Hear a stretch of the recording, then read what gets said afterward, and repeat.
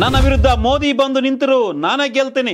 ದಾವಣಗೆರೆಯಲ್ಲಿ S S Mallikarjun ಸವಾಲು. ದಾವಣಗೆರೆಯಲ್ಲಿ ಅಪ್ಪ ಮಕ್ಕಳಿಂದ ಭರ್ಜರಿ ಕ್ಯಾಂಪೇನ್ ಶುರು. ಈ ಕಾರ್ಯಕ್ರಮದ ಪ್ರಾಯೋಜಕರು Jini millet health mix. Jini ಕುಡಿಯಿರಿ ಆರೋಗ್ಯವಾಗಿರಿ. ಈ ಕಾರ್ಯಕ್ರಮದ ಸಹ ಪ್ರಾಯೋಜಕರು ಸ್ಮಯಾ ಪ್ರಾಪರ್ಟೀಸ್. ಯೂಟ್ಯೂಬ್ನಲ್ಲಿ ಸಬ್ಸ್ಕ್ರೈಬ್ ಆಗಿ ಫೇಸ್ಬುಕ್ನಲ್ಲಿ ಫಾಲೋ ಮಾಡಿ ವೆಬ್ಸೈಟ್ ಲಾಗಿನ್ ಆಗಿ ಕಂಪ್ಲೀಟ್ ನ್ಯೂಸ್ ಓದಿ. ವೀಕ್ಷಕರ ನಮಸ್ಕಾರ. ಕರ್ನಾಟಕ ಟಿವಿಗೆ ಸ್ವಾಗತ.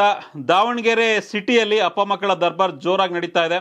ಅಂದ್ರೆ ಶಾಮನೂರು ಶಿವಶಂಕರಪ್ಪ ತೊಂಬತ್ತೆರಡು ವರ್ಷ ಅವರೇ ಕಾಂಗ್ರೆಸ್ನ ಅಭ್ಯರ್ಥಿ ದಾವಣಗೆರೆ ದಕ್ಷಿಣಕ್ಕೆ. ಮತ್ತೊಬ್ಬರು ಅವ್ರ ಮಗ ಮಾಜಿ ಮಂತ್ರಿ ಎಸ್ ಎಸ್ ಮಲ್ಲಿಕಾರ್ಜುನ್ ಕಳೆದ ಬಾರಿ ಸೋತಿದ್ರು. ಇಬ್ಬರು ಕೂಡ ಅಧಿಕೃತವಾಗಿ ಪ್ರಚಾರವನ್ನು ಶುರು ಮಾಡಿದ್ದಾರೆ. ಪ್ರಚಾರ ಶುರು ಮಾಡಬೇಕಾದ್ರೆ ಅವರು ಎಸ್ ಎಸ್ ಮಲ್ಲಿಕಾರ್ಜುನ್ ಜೋರಾಗಿ ಮಾತಾಡ್ತಾ ಇದ್ರು. ಪ್ರಧಾನಿ ನರೇಂದ್ರ ಮೋದಿ ಸಿ ಎಂ ಬಸವರಾಜ ಬೊಮ್ಮಾಯಿ ಯಾರೇ ಬಂದ್ರು ನನ್ನ ವಿರುದ್ಧ ನಿಂತ್ಕೊಂಡ್ರು ಕೂಡ ನಾನು ಗೆದ್ದೇ ಗೆಲ್ತೀನಿ ಅಷ್ಟು ನನ್ನ ತಾಕತ್ತಿದೆ ಅನ್ನೋ ಲೆಕ್ಕಾಚಾರವನ್ನ ಎಸ್ ಎಸ್ ಮಲ್ಲಿಕಾರ್ಜುನ್ ಹೇಳ್ತಾ ಇದ್ರು. ಸಿ ಎಂ ಬಸವರಾಜ ಬೊಮ್ಮಾಯಿ ಪ್ರಧಾನಿ ನರೇಂದ್ರ ಮೋದಿ ಯಾರೇ ಬಂದು ನಾನು ಆಪೋಸಿಟ್ ನಿಂತ್ಕೊಂಡ್ರು ಕೂಡ ನಾನು ಗೆಲ್ತೀನಿ. ಈ ಈ ಸರಿ ಯಾರು ಗೆದ್ದವರಲ್ಲಿ? ರವೀಂದ್ರನಾಥ್. ನಾನೆಲ್ಲ ಡೊನಾಲ್ಡ್ ಟ್ರಂಪ್ ನಿಂತ್ಕೊಂಡ್ಬಿಟ್ಟಿದ್ದೇನೋ ಅನ್ಕೊಂಡೆ. ಸೊ ಅದಕ್ಕೆ ಬಂದೆ ಅಮೆರಿಕ ಅಧ್ಯಕ್ಷ ಬಿಡೆನ್ ಡೊನಾಲ್ಡ್ ಟ್ರಂಪ್ ನಿಂತ್ಕೊಂಡ್ಬಿಟ್ಟಿದ್ರೇನೋ ಅದಕ್ ಮಲ್ಲಿಕಾರ್ಜುನ್ ಅನ್ಕಂಡೆ. ಈ ಮೋದಿ ಬಂದ್ರು ಗೆಲ್ತೀನಿ. ಆಮೇಲೆ ಮೋದಿ ಎಸ್ ಎ ರವೀಂದ್ರನಾಥ್ ವಿರುದ್ಧನೇ ಗೆಲ್ಲಿಲ್ಲ ಆಗಿಲ್ಲ. ಸೋತ್ರು.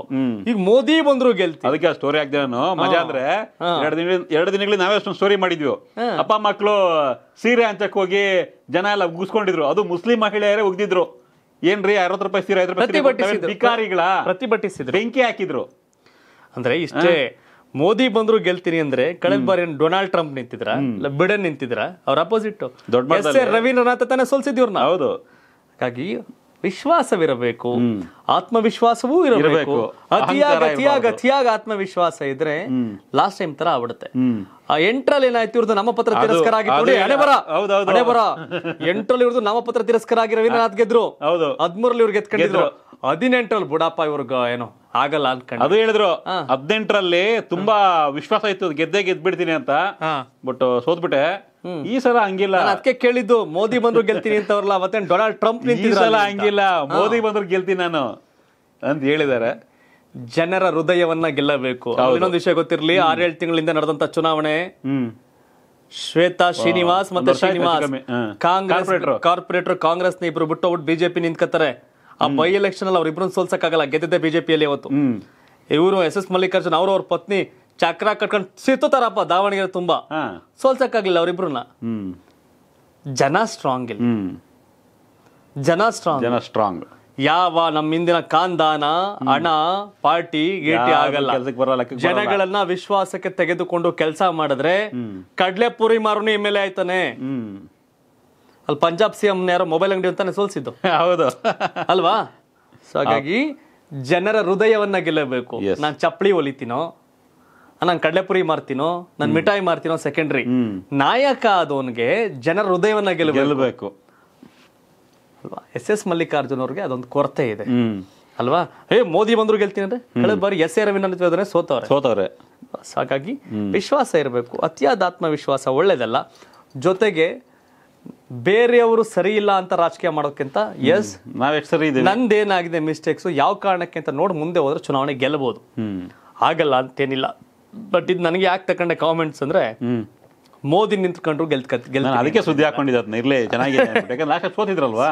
ಏನೋ ಸೋಲಿಲ್ಲ ಸರ್ದಾರ್ ಆಗಿ ಒಂದು ಅಸಲ ಸಲ ಗೆದ್ದಿದ್ರೆ ಐದ್ ಸಲ ಗೆದ್ದಿದ್ರೆ. ಆ ತರ ಸೋಲಿಲ್ಲದ ಸರದಾರ ಮಲ್ಲಿಕಾರ್ಜುನ್ ಖರ್ಗೆನೆ ಮಣ್ಮುಗಿಸ್ಬಿಟ್ರು ಕಲಬುರ್ಗಿ ಅವರು ಹೌದು ನಿರಂತರವಾಗಿ ಗೆದ್ದ. ಧರ್ಮ್ ಸಿಂಗ್ ಅವ್ರನ್ನ ಜೇವರ್ಗಿಲ್ ಸೋಲ್ಸಿದ್ರು. ದೇವೇಗೌಡರು ಪ್ರಧಾನಿ ಆದವರು ಅವ್ರನ್ನೇ ಸೋಲ್ಸಿದ್ರು. ಅವ್ರು ಪ್ರಧಾನಿಯಾಗಿ ಬಂದ್ಮೇಲೆ ನಂದ ನೆಕ್ಸ್ಟ್ ನಡೆದಂತ ಚುನಾವಣೆ ಏನು ತೊಂಬತ್ತೊಂಬತ್ತು ಲೋಕಸಭೆಯಲ್ಲಿ ಸೋಲ್ಸಿದ್ರು ಅವ್ರ ಜನ ಅವರು ಹ್ಮ್.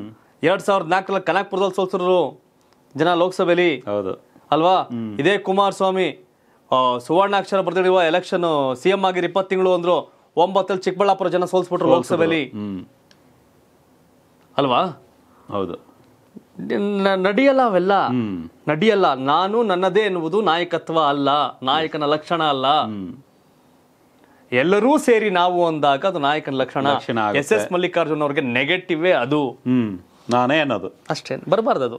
ಎಸ್ ವಿಶ್ವ ನಿಮ್ಮ ಪ್ರಕಾರ ದಾವಣಗೆರೆಯಲ್ಲಿ ಅಂದರೆ ಶಾಮನೂರು ಶಿಶುಕರಪ್ಪ ಅವರ ಕ್ಷೇತ್ರ ದಾವಣಗೆರೆ ದಕ್ಷಿಣ ಜೊತೆಗೆ ಇವರ ದಾವಣಗೆರೆ ಕ್ಷೇತ್ರ ಯಾರು ಗೆಲ್ತಾರೆ? ಯಾರು ಈ ಎರಡು ಕ್ಷೇತ್ರದಲ್ಲಿ ಎಂ ಎಲ್ ಎ ಆದರೆ ಚೆನ್ನಾಗಿರುತ್ತೆ ಅಂತ ನಿಮಗೆ ಅನಿಸುತ್ತೆ? ಕಮೆಂಟ್ ಮಾಡಿ ಮುಂದಿನ ಸರ್ಕಾರ ಯಾವ ಸರ್ಕಾರ ಬರಬೇಕು ಯಾರು ಸಿ ಎಂ ಆಗಬೇಕು ಅನ್ನೋದನ್ನು ಕೂಡ ಕಮೆಂಟ್ ಮಾಡಿ. ಜೊತೆಗೆ ಕರ್ನಾಟಕ ಟಿವಿಯ ಕಳಕಳಿ ಇದೆ ಯೋಗ್ಯರನ್ನ ಆಯ್ಕೆ ಮಾಡಿ ಅಯೋಗ್ಯರನ್ನ ಆಯ್ಕೆ ಮಾಡೋಕ್ಕೆ ಹೋಗ್ಬಿಡಿ. ಅಂದ್ರೆ ನಿಮ್ಮ ಕ್ಷೇತ್ರದಲ್ಲಿ ಯಾರು ಕಣಕ್ಕೆ ಇರ್ತಾರೆ ನೋಡಿ ಅವ್ರ ಪಟ್ಟಿ ಮಾಡಿ. ಈತ ಜನಸಾಮಾನ್ಯರ ಜೊತೆ ಬೆರಿತಾನೆ ಇರ್ತಾನೆ ಕೆಲಸ ಮಾಡ್ತಾನೆ ಕಷ್ಟ ಸುಖ ಕೇಳ್ತಾನೆ. ಎಂ ಎಲ್ ಎ ಆಗ್ಲಿಕ್ಕೆ ಯೋಗ್ಯತೆ ಇದೆ ಅಂದ್ರೆ ನೋಡಿ ಅವರ ಹಣ ಅವರ ಜಾತಿ ಹ ಅವರ ಅಂತಸ್ತು ಅವರ ಧರ್ಮ ಅವರ ಪಕ್ಷ ನೋಡೋ ಓಟ್ ಹಾಕ್ಬೇಡಿ. ಯೋಗ್ಯರನ್ನ ವಿಧಾನಸೌಧಕ್ಕೆ ಆಯ್ಕೆ ಮಾಡಿ ಕಳಿಸಿ. ಇನ್ನೂರ ಇಪ್ಪತ್ನಾಲ್ಕು ಕ್ಷೇತ್ರಕ್ಕೂ ಕೂಡ ಅನ್ವಯ. ಯೋಗ್ಯರು ವಿಧಾನಸೌಧದಲ್ಲಿರಬೇಕು. ದಯವಿಟ್ಟು ಅಸಮರ್ಥರು ಅಯೋಗ್ಯರು ಓಟ್ ಹಾಕ್ಬೇಡಿ. ಯೋಗ್ಯರನ್ನ ಆಯ್ಕೆ ಮಾಡಿ. ಎಲ್ಲ ಅಯೋಗ್ಯರೇ ಶಿವು ಅಂತಂದ್ರೆ ನೋಟ ಐತೆ ಹೋಗಿ ಓದ್ತಿ. ಓಟ್ ಹಾಕೋದು ಮಿಸ್ ಮಾಡಬೇಡಿ. ಧನ್ಯವಾದ ಇದು ಕರ್ನಾಟಕ ಟಿವಿ. ಕನ್ನಡಿಗರ ಧ್ವನಿ.